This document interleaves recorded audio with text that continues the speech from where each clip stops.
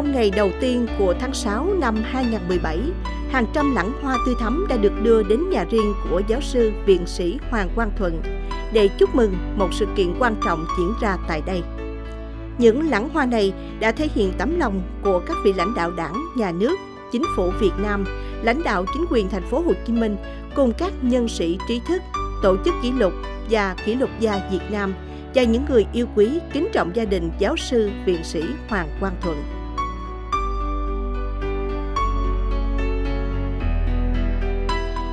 Sự kiện quan trọng diễn ra tại nhà riêng giáo sư viện sĩ Hoàng Quang Thuận mà chúng tôi, các phóng viên của Đài truyền hình thành phố Hồ Chí Minh vinh dự được mời đến tham dự. Chính là Trung ương Hội Kỷ lục gia Việt Nam, Tổ chức Kỷ lục Việt Nam đã long trọng tiến hành lễ tôn vinh sông lão trường thọ cho cụ bà thân mẫu và cụ bà nhạc mẫu của giáo sư viện sĩ Hoàng Quang Thuận trong chương trình Hành trình Bách Niên Trường Thọ năm 2017. Gia đình giáo sư viện sĩ Hoàng Quang Thuận có đến hai cụ bà thọ 90 và 95 tuổi là trường hợp hiếm có của hành trình Bách Niên Trường Thọ. Trong hơn 6 năm, chương trình diễn ra trên khắp đất nước Việt Nam.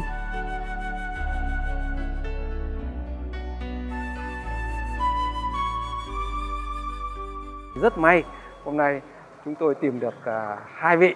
uh, thân mẫu và nhạc mẫu của giáo sư Hoàng Quang Thuận À, để tôn vinh. Và với cá nhân tôi thì đây là một vinh dự à, rất lớn. Và tôi à, mong rằng cái cuộc tôn vinh này nó sẽ đem lại thêm sức sống cho các cụ các cụ sống sống sống sống lâu nữa lâu nữa để truyền đạt kinh nghiệm cho con cháu. Các cụ đã trải nghiệm cả cả một thế kỷ cuộc đời với biết bao nhiêu những biến động thăng trầm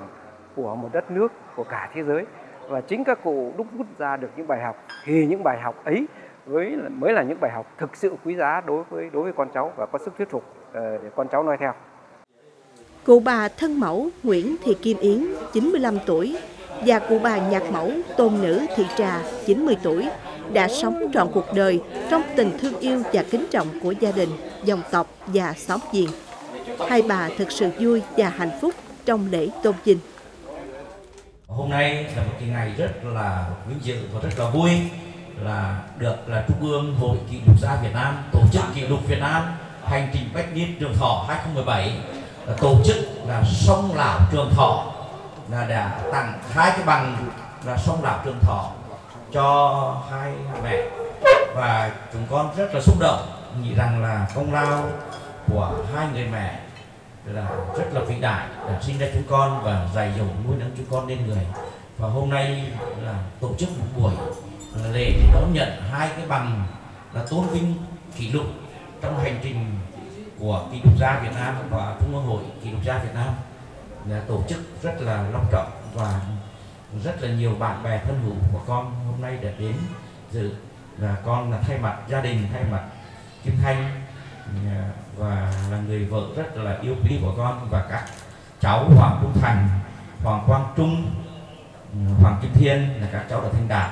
Rồi các cháu bây giờ là đã trở thành những nhà khoa học, những giáo sư tiến sĩ và đã cống hiến cho quê hương đất nước. Và rất là trân trọng cảm ơn là các anh chị là bạn bè thân thuộc cũng như là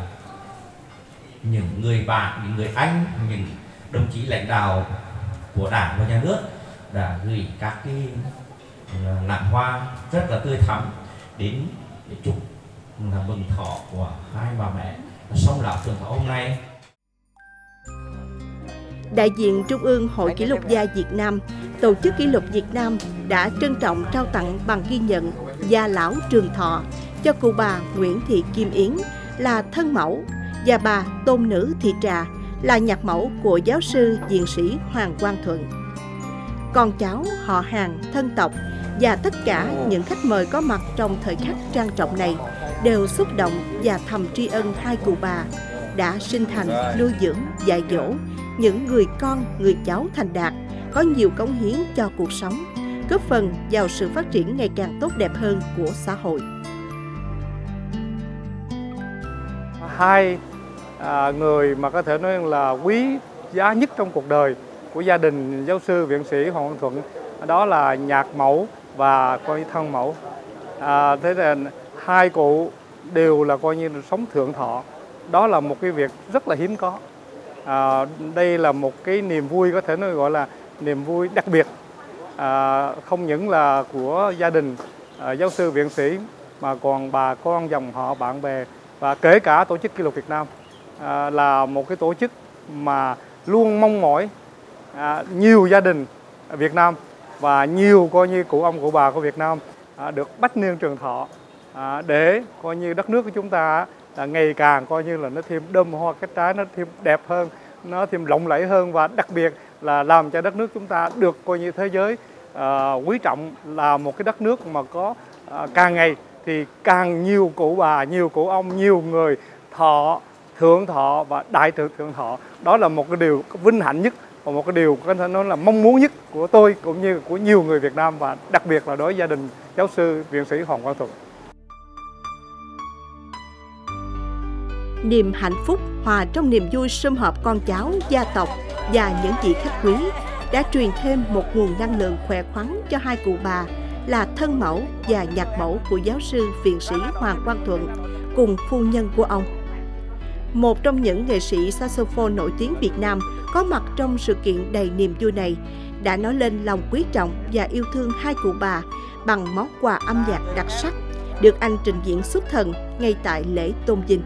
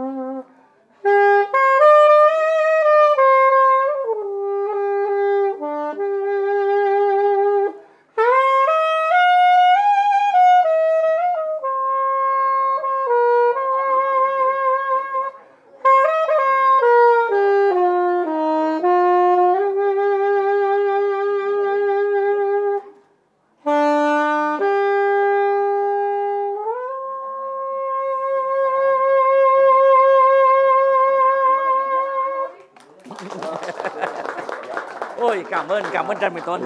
Cảm ơn chú em. Rồi. Xúc động trước tấm lòng và tình cảm yêu quý chân thành của mọi người dành cho hai cụ bà Trường Thọ và cũng là cho gia đình thân tộc giáo sư viện sĩ Hoàng Quang Thuận đã có đôi lời cảm tạ. Tôi rất là vui và vinh dự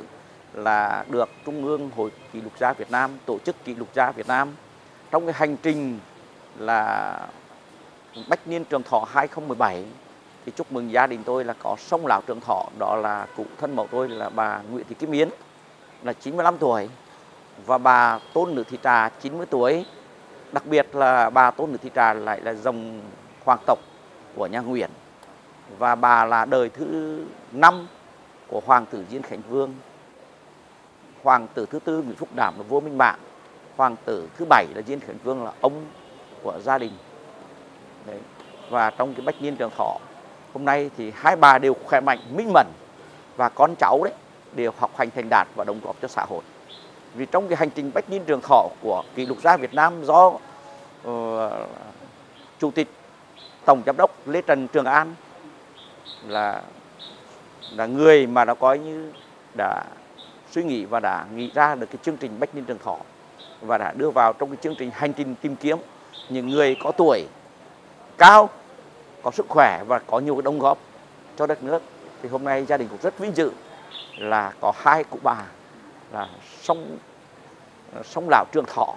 là trong dịp kỷ niệm hôm nay và rất, rất là cảm ơn là Trung ương Hội Kỷ lục gia Việt Nam tổ chức kỷ lục gia Việt Nam đã đứng ra để tổ chức một cái buổi lễ rất là vui cho gia đình và gia đình hết sức cảm ơn và tôi tin rằng là mẹ tôi thân mẫu và nhạc mẫu tôi rất là cảm động để được đón nhận những cái lãng hoa tươi thắm cũng như lời chúc mừng của con cháu của bà con bạn bè là đến thăm một chút thọ cụ và tôi mong rằng là cái chương trình này không chỉ hôm nay ở gia đình tôi mà có thể là còn nhiều gia đình nữa. Qua chương trình Bách Niên Trường Thọ, Tổ chức Kỷ lục Việt Nam không chỉ tìm kiếm tôn vinh những người cao tuổi trên khắp đất nước, mà còn góp phần động viên giới trẻ học tập noi gương ông bà cha mẹ, giữ gìn và làm đẹp hơn nữa bản sắc văn hóa gia đình truyền thống của người Việt Nam xưa và nay, phát huy các yếu tố nhân văn trong mối quan hệ cộng đồng xã hội. Trong triết lý nhân sinh của người Việt, gia đình nào có ông bà cha mẹ sống khỏe sống thọ đó là phước báo cho con cháu nhiều đời việc thương yêu kính trọng và báo hiếu cho ông bà cha mẹ là đạo lý quan trọng nhất mà mỗi người đều thực hiện bằng lòng chân thành và tự nguyện của mình gia đình giáo sư diện sĩ Hoàng Quang Thuận đã giữ gìn truyền thống tốt đẹp tam đại đồng đường suốt nhiều thập niên qua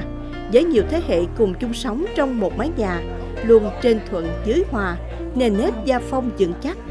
Cho nên, con cháu tài giỏi, đạo đức, đỗ đạt cao, thành công trên nhiều lĩnh vực. Những điều đó cũng đã góp phần cho thân mẫu và nhạc mẫu của giáo sư diện sĩ Hoàng Quang Thuận sống lâu, sống khỏe, sống an lạc yên vui cùng con cháu.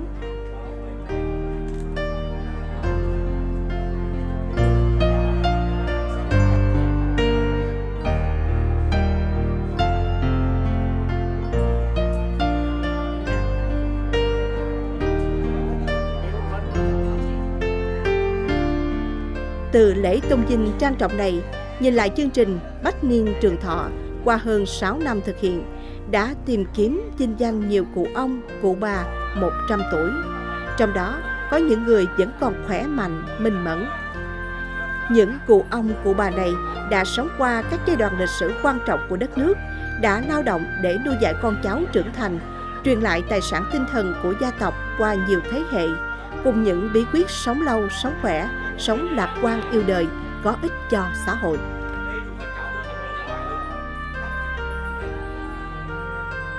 Thân mẫu kính yêu của giáo sư viện sĩ Hoàng Quang Thuận, người phụ nữ đã sinh thành, nuôi dưỡng, giáo dục những đứa con trong gia đình thành những công dân có ích cho xã hội. Bà luôn luôn giáo dục con cái nỗ lực làm việc, sáng tạo để cống hiến nhiều giá trị quan trọng cho đất nước, cho quê hương bản quán bà nêu cao tấm gương cho con cháu về tình yêu gia đình, yêu cuộc sống. Bà đã dành cả tuổi thanh xuân của mình để lo cho chồng, cho con. Để hôm nay, khi con cháu đã thành đạt dinh hiển, bà an hưởng tuổi già trong hạnh phúc, được sống cùng con cháu trong một mái nhà ấm cúng, được xã hội và cộng đồng kính trọng, tôn vinh và chúc phúc.